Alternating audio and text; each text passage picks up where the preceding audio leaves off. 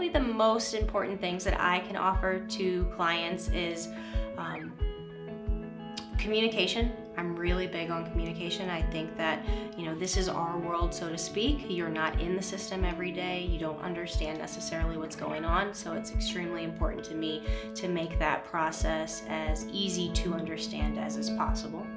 Um, the other thing I would say, I'm pretty straightforward when it comes to realistically what you can expect, whether that's good, bad, um, or indifferent at times. You're not gonna get the sun, the, the, stars, and the moons talk from me, but you're also probably not gonna get your worst case scenario. So I think having someone that clients can relate to and you're not necessarily trying to sell them on an idea, you're letting them guide you with what they want in their life is an asset. I have a pretty unique background when it comes to practicing law. Uh, my minor in undergrad was, I was actually a philosophy major with critical thinking. So the way that my brain works is kind of outside of the box anyway.